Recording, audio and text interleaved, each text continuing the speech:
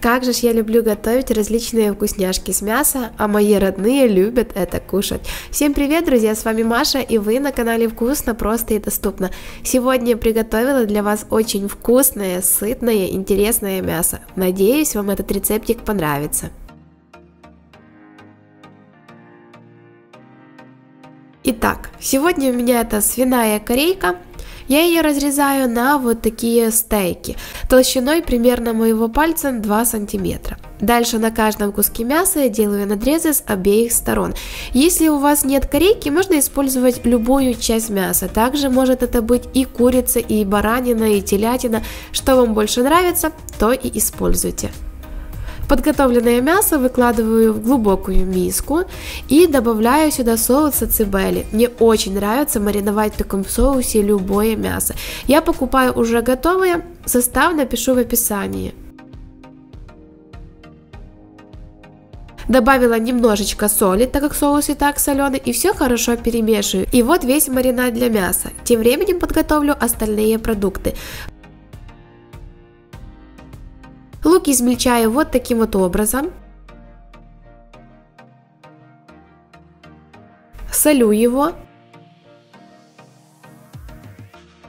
Добавлю перца.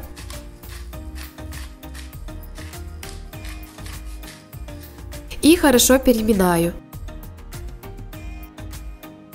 Шампиньоны нарезаю тоненькими пластинками.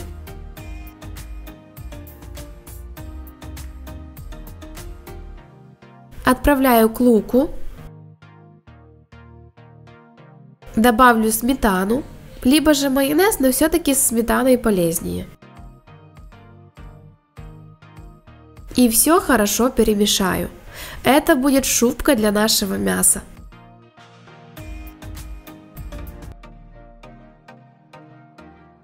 За это время мясо уже успело промариноваться. Выкладываю его на противень, который выстилаю пергаментом. Поверх каждого кусочка выкладываем шубку и отправляем в духовку разогретую до 200 градусов на полчаса. Через полчаса вынимаю, посыпаю сыром, но это по желанию, и еще на 5 минут в духовку и можно пробовать. Очень вкусная, сочная, красивенная корейка, чего добиться достаточно сложно, но по этому рецепту получается потрясающее мясо. Очень рекомендую приготовить, уверена, что понравится всем.